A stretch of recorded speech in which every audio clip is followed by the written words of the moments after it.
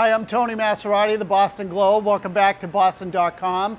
One of the more important or interesting moments of this game took place in the eighth inning when Terry Francona elected to send Jon Lester back out to the mound despite having thrown in excess of 100 pitches through seven innings.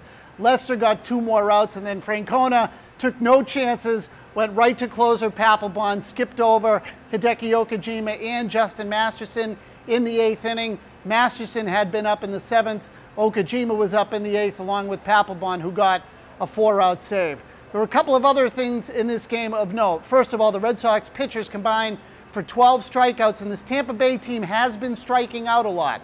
That's 44 strikeouts in the last four games for the Devil Rays.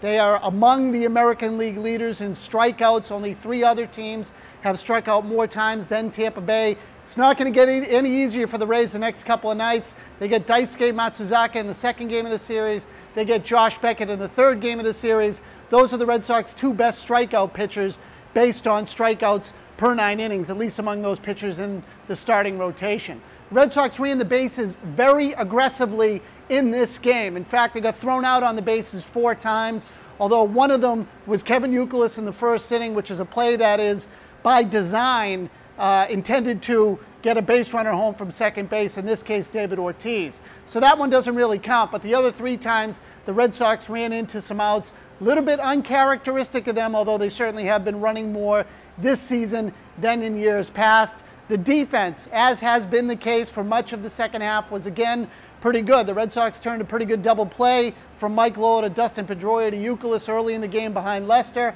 to help him out a little bit. And then later in the game, Jason Bay made a nice play off the wall, hold a batter to a single. That ended up saving the Red Sox a run when Carlos Pena, the next batter, hit a ground rule double. That was the point that Papelbon came into the game and got the final four outs. So with this win, the Red Sox are now one game behind the Rays in the loss column in the American League East. Clearly, they are in firm control of the American League wildcard position. With two more games to go here, the Red Sox could find themselves in first place, certainly by the time the Rays leave town on Wednesday night. Again, two more games to go in this series. Matsuzaka and Beckett, the teams will play three more next week in Tampa Bay. We will have full coverage in the Boston Globe and on boston.com, so be sure to check back here for details. And again, thank you for joining us.